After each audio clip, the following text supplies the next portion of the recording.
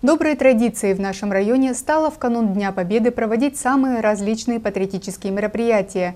Районный смотр-конкурс «Строя и песни» среди общеобразовательных организаций муниципалитета организуется в рамках военно-патриотического воспитания школьников.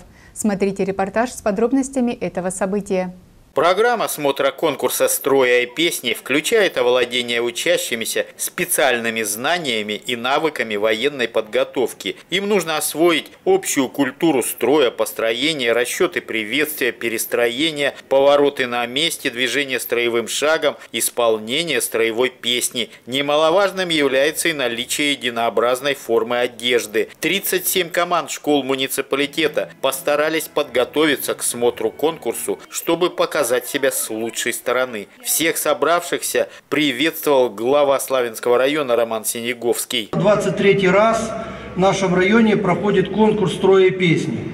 Как уже было сказано, в этом году э, наш конкурс «Строя песни» посвящен 78-й годовщине Великой Победы и 80-й годовщине освобождения Кубани от немецко-фашистских захватчиков и в целом освобождения Кавказа. Мне приятно, что количество участников растет. В этом году 37 команд, еще 5 лет назад было 16 команд. Это говорит о том, что в Славянском, районе ребята активные, ребята любят патриотику, мира, добра, благополучия. Пусть победит сильнейший. С праздником, дорогие друзья!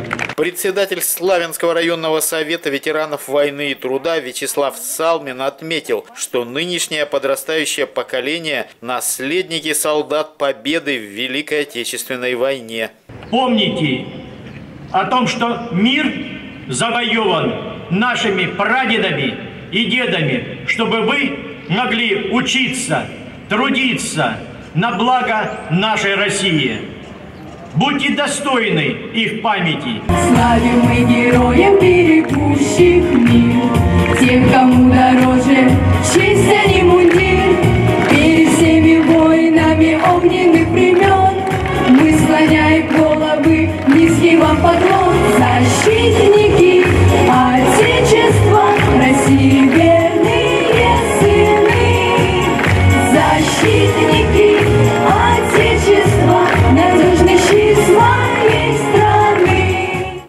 Нелегкую задачу предстояло решить участникам смотра конкурса «Строя и песни». Под руководством своих командиров нужно было пройти как можно более четко, как говорится, чеканя шаг. Исполнение строевой песни во время прохождения – это отдельное искусство. И лучшие команды Славянского района просто порадовали тем, как слаженно и красиво они шли в строю, как пели песни, известные всей нашей стране. Строгое жюри смотра конкурса оценило выправку, точность строевого шага, единую парадную форму одежды, действия командира, прохождение отрядов с песней. В номинации «Отряд девушек» победила команда из пятой школы. В номинации «Команда военно-патриотических клубов» первое место за 29-й школой. Среди отрядов 9-11 классов не было равных ребятам из 17-й школы. В номинации «Отряд 7-8 классов» лидерами стали учащиеся